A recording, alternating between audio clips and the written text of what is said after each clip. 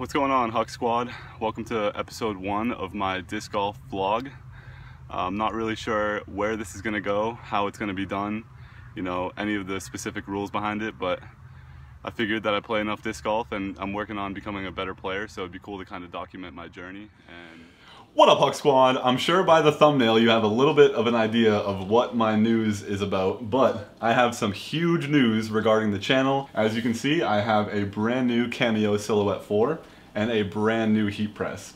Now, I have never done anything like this before. I've never made my own clothing. A couple years ago, all I did was I paid someone to make merch and then I had people PayPal me. I don't really want to go that route. I want to go the route of actually being able to like pay taxes on my sales and I want to have pretty much full control over the quality control.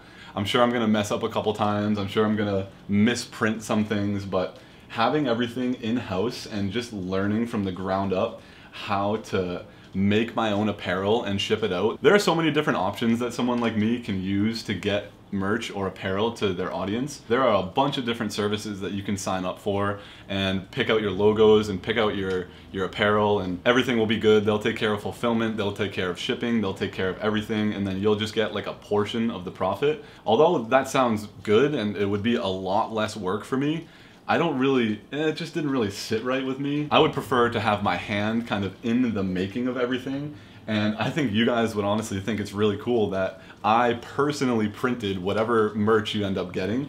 And I don't know, something about that concept just really hit home with me. It's gonna be so much more work, and there's honestly a ton of back end logistics that I'll have to work through to go this route. But I'm pretty much holding all brand leverage myself. I'm gonna have full control over all the quality control. I'll be able to see everything before it goes out. I'll be able to make sure that it's a good quality material and that everything's in check before I send it out. I wanted to do it all myself, trial and error, figure it out from the ground up. And I just, honestly, I never did like a 10,000 sub special. And this isn't really the 10,000 sub special, but this is my formal thank you to you guys. I've been making videos now for like five or six years and it's been such a long time coming. There are some channels, I'm sure everyone sees them, they have one really viral like multi-million view video that ends up kind of popping their channel off. And my channel has just been built slowly for five or six years, just chugging, chugging, chugging, chugging. I just saw the other day that I think I'm somewhere close to like 330 or 340 total videos. So you could almost sit there for an entire year and just watch one video a day on my channel, which just like blows my mind. I just have to give you guys so many thanks and so much gratitude back because without you guys, I wouldn't be as thrilled to be making these videos. I probably would still be making these videos. I said somewhere back three, four, five years ago that I don't really care how many subscribers I have deep down. I just really enjoy making videos, going out with my friends, having fun, documenting it, and then being able to look back on it at a later date.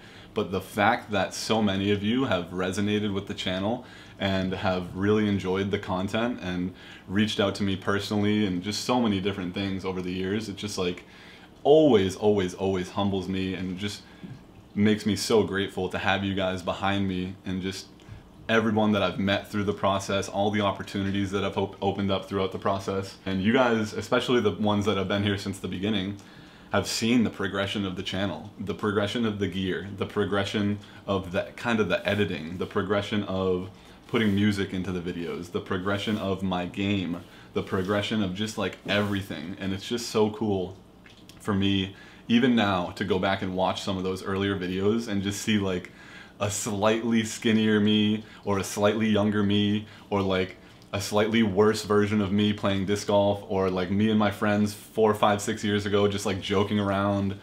It's just like crazy to see the documentation and how far we've come. And we are not even anywhere close to being like satisfied with the growth of the channel. I have so many plans and I know I've been a little bit slow this winter, but the weather's been crazy. I just haven't been forcing myself to get out there. I'm physically taking a camera and just putting it in my face. And I try my best to be as authentic as I possibly can. And if I'm not in a good mood or just like down in the dumps or it's cold out and I just don't want to go out and film, I'm not going to force myself to put a camera in front of my face and like fake it. So if I'm not feeling it, if I'm not feeling the groove of making videos, then I'm just not going to do it. So sorry about that little rant. I wanted to keep this a little short and sweet. It is Thursday today, three minute Thursday. Today's my day off from work, and earlier today, I met up with a great crew at Borderland and we actually filmed two videos, one for another channel and one for my channel, which is probably going to be coming out in a couple days. It's going to be a horse tilt challenge. So we played horse with only tilts.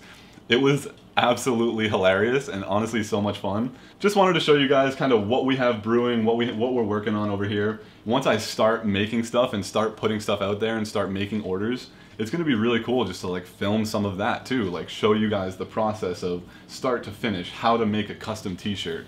This could really be a huge, huge thing for us, the Huck Squad, me personally, and just the progression of moving forward with the channel and moving forward with my life. So I just couldn't thank you guys anymore. Thank you so much for 10k subs. I just can't wait to keep on going, keep putting out videos, keep interacting with you guys. I, for years, I did a really good job of answering every single comment, but I'm not gonna lie, over the past couple months, like I said about the whole I'm not getting out there and playing, I haven't really been answering every single comment either, so I need to catch up on my comment answering, I need to get back into that groove, but there's so much planned for this spring and summer and so many more things to look forward to, so I really do love you guys, I really appreciate it, and uh, thank you for coming along, thank you for hitting the sub button, thank you for subscribing, thank you for leaving comments, I really appreciate you guys. I will see you in the next one. And uh, yeah, keep eating your vegetables. Peace.